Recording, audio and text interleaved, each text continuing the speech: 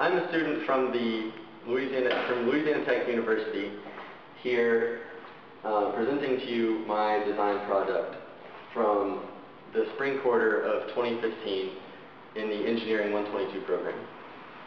This product is called the Automatic Paint Mixer and what it's designed to do is mix paint. So uh, a few weeks ago, I before this uh, before actually the course started, I was painting an object, and I had this idea.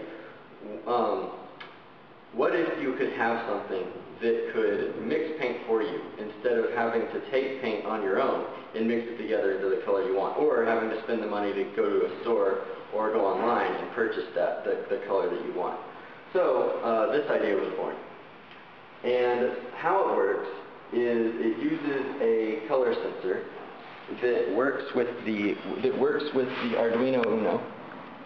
And the color sensor it uses RGB sensors, which can detect the amount of green, uh, red, and blue light that is uh, being reflected from an object. So you put a sample in, and it senses the color of the sample.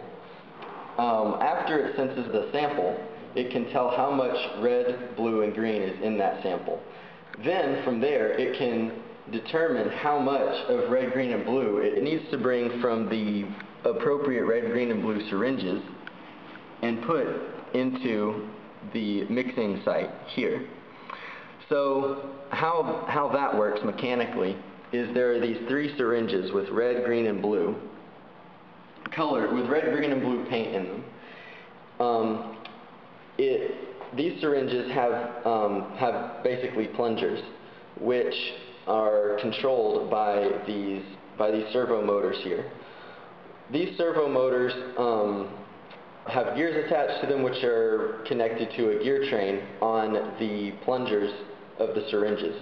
So the servos rotate in the direction that causes the plungers to go downwards, as you can see in the demonstration here.